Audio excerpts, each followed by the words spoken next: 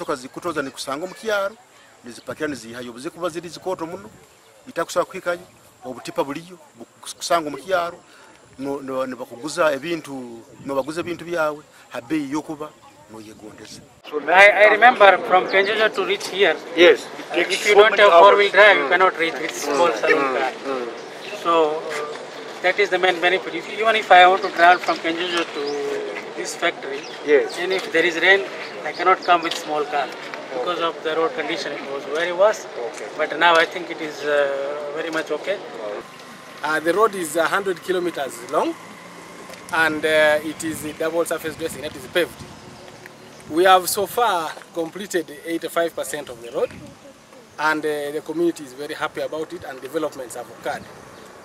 We are remaining with uh, only uh, 15% of the road which is already in, uh, in Kyenjojo district. That is after Katoke onwards. Uh, we have so far, uh, this road has been funded by the World Bank uh, for the civil works and only the land acquisition is uh, GOU funded. November up to mid-December.